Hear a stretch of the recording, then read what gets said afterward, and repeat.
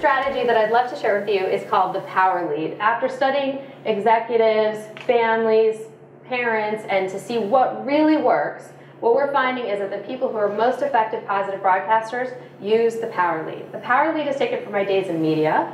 If it bleeds, it leads, right? This is the opposite approach. Uh, the power lead is where we start off conversations, emails, meetings, phone calls with something positive and meaningful. Really simple things. It doesn't have to be something big. So, uh, and as an example, if you were to ask me, "How are you doing?" I'm doing. You know, this morning I'm I'm great. My I had breakfast with my son this morning. He's being so cute, right? Just so simple. But that that just that simple phrase sets the tone at positive. It offers someone a window into our world.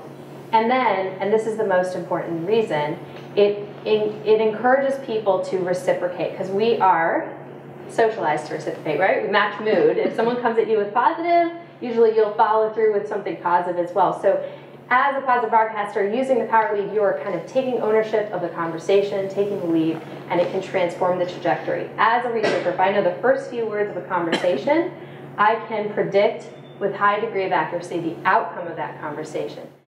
What do you identify with your soul? Join the conversation using hashtag OwnShow.